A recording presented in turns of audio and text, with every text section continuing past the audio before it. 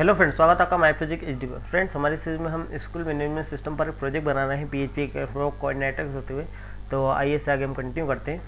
हमने हमारे previous video में इसके स्टाफ मैनेजमेंट सेक्शन पर हम वर्क कर रहे थे, जिसमें हमने स्टाफ का ये बेसिक मॉड्यूल बनाया था, जिसमें हम यहाँ पर स्टाफ का जो मेन्यू है, इस पर क्लिक करते थे। तो इस पेज पर आ रहा है, यहाँ पर स्टाफ का हमने सबको स्टडी काउंट है, ये स्टडी काउंट सेट है अभी। देन यहाँ पर इसकी ये सारी फील्ड्स है, और हमने एक पॉपअप डिज़ाइन किया था, जिसपे जो स्टाफ के हम बेसिक इन्फॉर्मेशन लेंगे, वो यहाँ पर आ रही है।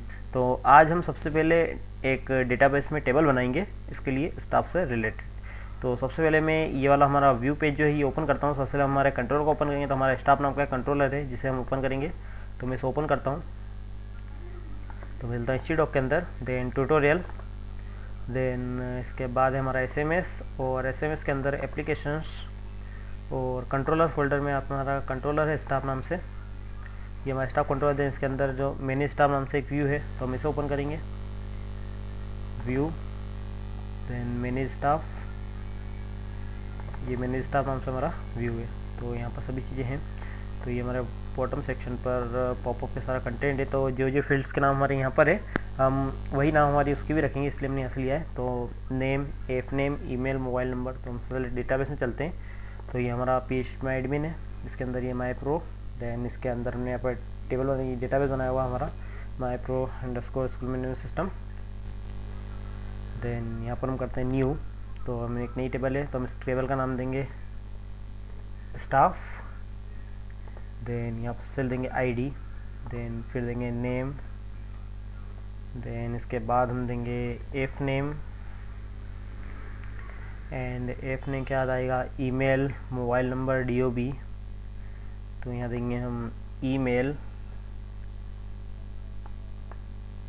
एंड फिर इसके बाद देंगे हम mobile number D O B then इसके बाद होगा जॉइन डेट और एक्सपीरियंस तो यहाँ देते हैं जॉइन डेट देन एक्सपीरियंस और इसके अलावा कोई ऑप्शन है या नहीं? तो इसके बाद पेमेंट है और अदर इन्फॉर्मेशन है। तो यहाँ पर होगा पेमेंट तीन और ले लेते हैं यहाँ पर हम। तो पेमेंट के बाद है स्टाफ अदर इन्फॉर्मेशन देन इसके बाद हम एक और फ़ील्ड बनाएँगे स्टेटस देन एक बनाएँगे क्रिएटेड क्रिएटेड तो ये हमारी सारी फ़ील्ड क्रिएट हो चुकी है। देन इन सभी के हम डेटा टाइप असाइन करेंगे। तो सबसे पहला नेम को हम रखेंगे वेयर केयर देन इसे भी हम रखेंगे वेयर केयर ईमेल भी हमारी वेयर केयर रहेगी। वेयर केयर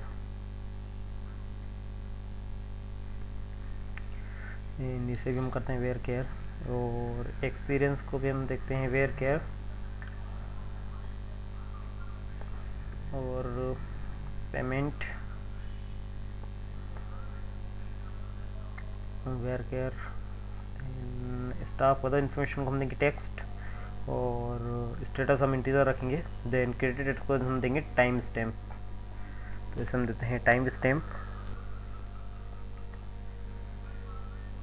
और इसे यहाँ पर हम डिफाइन करेंगे करंट टाइम स्टैम्प। सॉरी हमने नल कर दिया, करंट टाइम स्टैम्प करना है यहाँ से, ये। और इसके हमें कोई लेंथ नहीं देना है। इसे हम देंगे two fifty five two fifty two fifty two fifty क्योंकि वेयर केयर में हमें लेन देना होती है कि इसके अंदर हम कितने कैरेक्टर स्टोर करेंगे तो इसलिए हमें वहाँ पर एक इंटीजर वैल्यू देना होती है कि हमें पर्टिकुलर इतना करने देने से हम ऐसा नल चेक लगा देते हैं सभी पे नल के।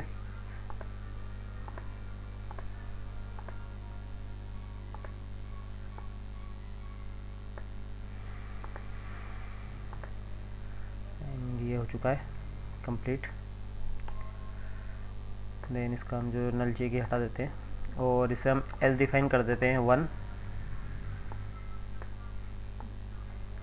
देन ऑटो इंक्रीमेंट को हम ऐसे चेक कर देंगे। गो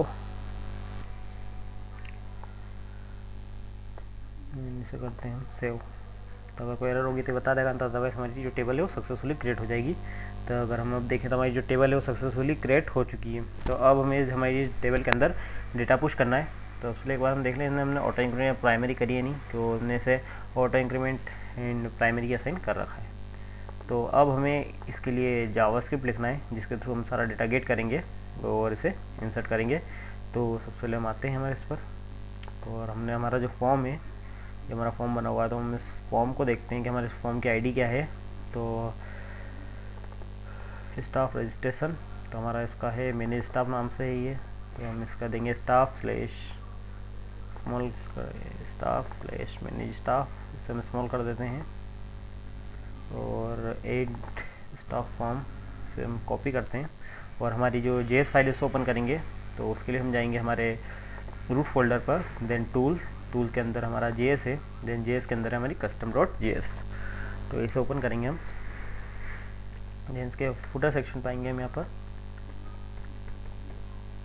और यहाँ पर हम लिखेंगे कि जो हमारा ये पर्टिकुलर फॉर्म है, जब ये सबमिट हो,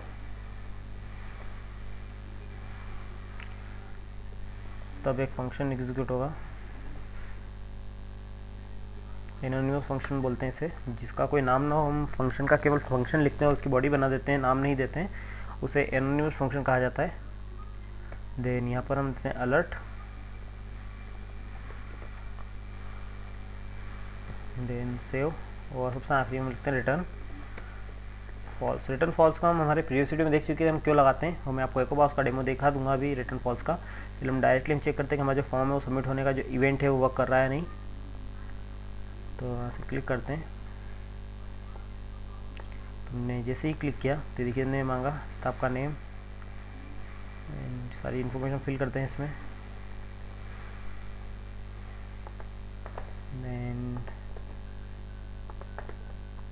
क्योंकि रिक्वायर्ड अगर हम फिल नहीं करेंगे तो बोला ये देखिए ईमेल मोबाइल नंबर है।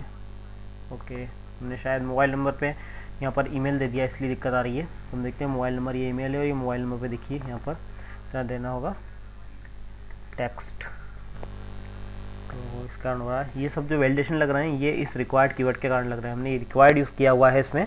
इसलिए इस तरह की वैलिडेशन वर्क कर रही है यहाँ पर। ईमेल का इसने वैलिडेट इसलिए करा क्योंकि हमने यहाँ पर रिक्वायर्ड यूज़ करा। अगर आप रिक्वायर्ड लगा देंगे तो बाय डिफ़ॉल्ट उस पर जो आपका डेटा टाइम होगा, उसके अकॉर्डिंग लगाइए। ईमेल के लिए ईमेल ही मांगेगा। अगर आप वैलिड ईमेल नहीं देंगे तो ये एक्सेप्ट नहीं करेगा। और डेट में ये ऑटोमेटिक डेट आती है। तो इसे आप रिफ्रेश करते हैं, वापस से चेक करते हैं। यहाँ देते हैं।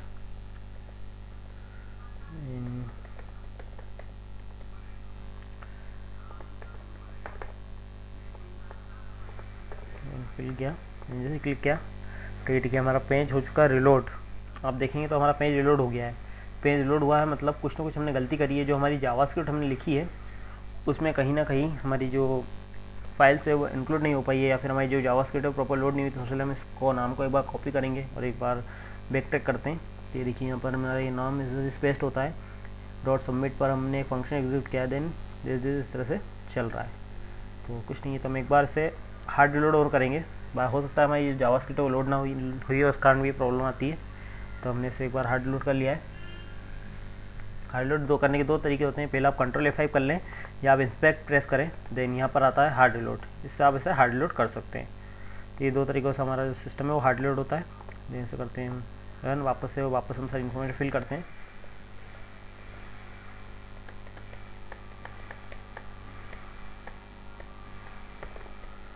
देन देखिए जो प्रॉब्लम थी वो हमारी थी कैशे की। जो जावा स्क्रिप्ट थी वो कैशे में लोड नहीं हो पाई थी। उस कारण ये हमारी प्रॉब्लम आ रही थी। तो ये हमारा प्रॉपर वर्क कर रहा है।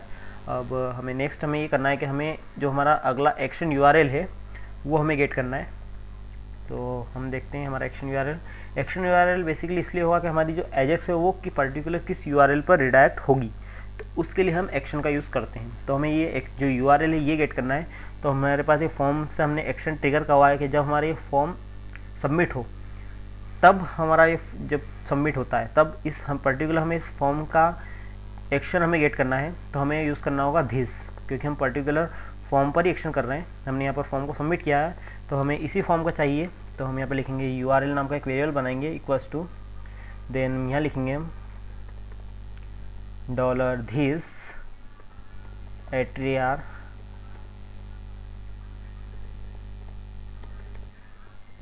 action then अगर अब हम इसे अलर्ट करें तो यहाँ पर हमें यूआरएल रिसीव होगा देन सेव और इसे हम करते हैं एक बार रिलोट देन अब चेक करेंगे हम.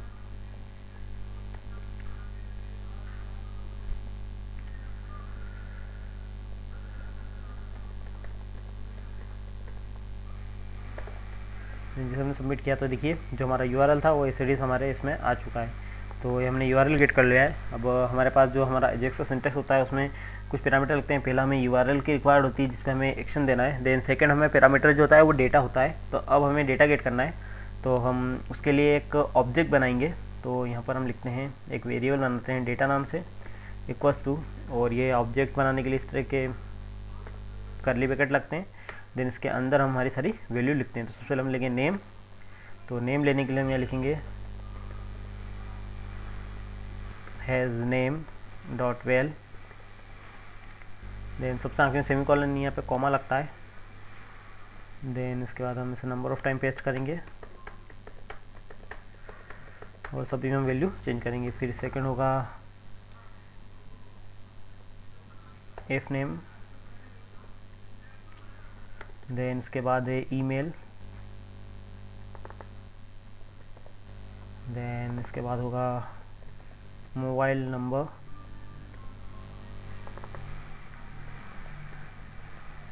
mobile number then mobile number के बाद अगली फ़ील्ड है D O B then D O B के बाद होगी जॉइंट डेट देन फिर एक्सपीरियंस तो इसके अगली होगी डीओबी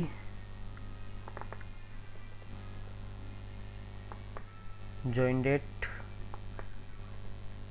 देन इसके बाद होगा एक्सपीरियंस तो यहाँ लिखेंगे हम ई एक्स पी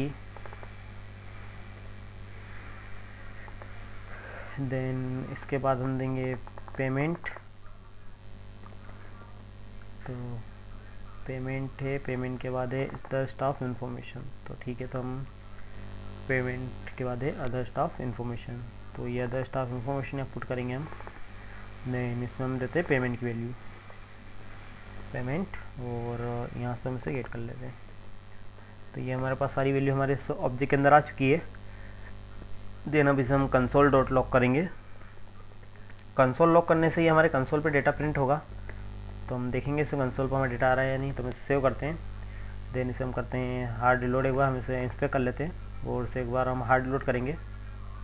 देन कंसोल पर चेक करेंगे, जो हमारा डेटा हमने सेंड करेंगे, वो हमारे कंसोल पर आ रहा है, किंतु हम यहाँ से कंसोल ओपन कर लेते हैं। देन मैं कंसोल को पूरा तरह क्लियर कर देता हूँ। और अब हम चेक करेंगे। अभी भी कंसोल क्लियर देन यहाँ पर इन्फॉर्मेशन फिल करते हैं। देन देन जैसे हम सबमिट किया तो देखिए सारी इन्फॉर्मेशन हमारे कंसोल पर आ चुकी है। ये देखिए हमने जितनी इन्फॉर्मेशन फिल करी थी। ये सारी हमें यहाँ पर मिल रही है।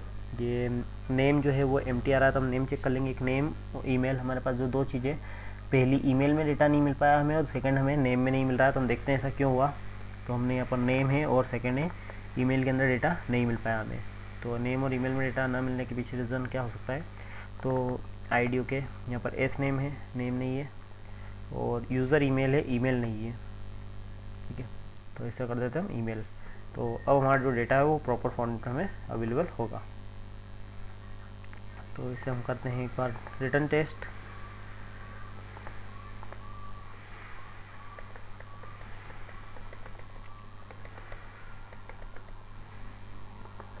देन क्लिक और अगर आप चेक करें तो हमारे पास सारा डेटा आ चुका है। देखिए, सारी फील्ड्स जितनी भी हमारी, उन सब में हमें डेटा मिल रहा है। तो ये हमने हमारा जो डेटा था, हमने इसके थ्रू जावस के थ्रू हमारा फॉर्म सबमिट किया। देन उसका डेटा हमने हमारे इसमें गेट किया है। तो फ्रेंड्स, अभी की वीडियो में थी इसके आगे हमारे नेक्स्ट वीडियो में हम इसके लिए जो एजेक्स रिक्वेस्ट है, वो लिखेंगे, वो डेटाबेस में डेटा इंसर्ट करेंगे। तो फ्रेंड्स, अभी की वीडियो में इतना ही। अगर आपको वीडियो पसंद है लाइक एंड शेयर करें और हमारे चैनल को जो सब्सक्राइब करें ताकि हम जो भी नई वीडियो अपलोड करें, उसकी अपडेट आपको मिल रहे। और फ्रेंड्स, अगर आपको मेरे टोटल सीरीज़ में नहीं मिल पाते हैं तो आप मेरी वेबसाइट पर विज़िट कर सकते हैं। आपको मेरी वेबसाइट की लिंक इस वीडियो की डिस्क्रिप्शन में मिल जाएगी। यहाँ पर आपको वीडियो ट्यूटोरियल सेक्शन में मेरे सारे ट्यूटोरियल एक में अवेलेबल है तो आप वहाँ से इन्हें ईजिली देख सकते हैं। Thank you for watching